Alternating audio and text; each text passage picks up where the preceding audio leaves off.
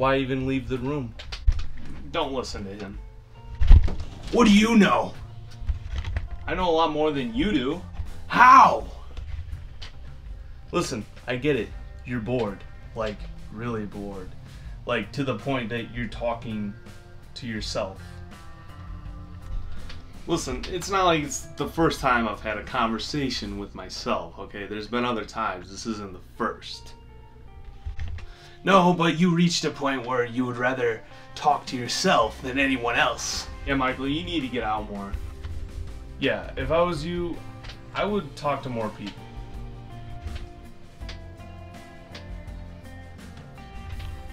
Oh, right.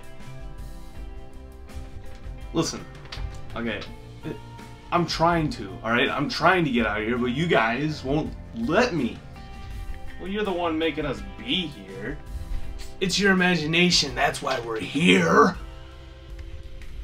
Okay, I'll tell you what I'm gonna do, okay? I'm gonna go outside that door, I'm gonna start my day. Well, if you ever need anything, right, we'll always be here. I'll see what I can do. Same here. Alright?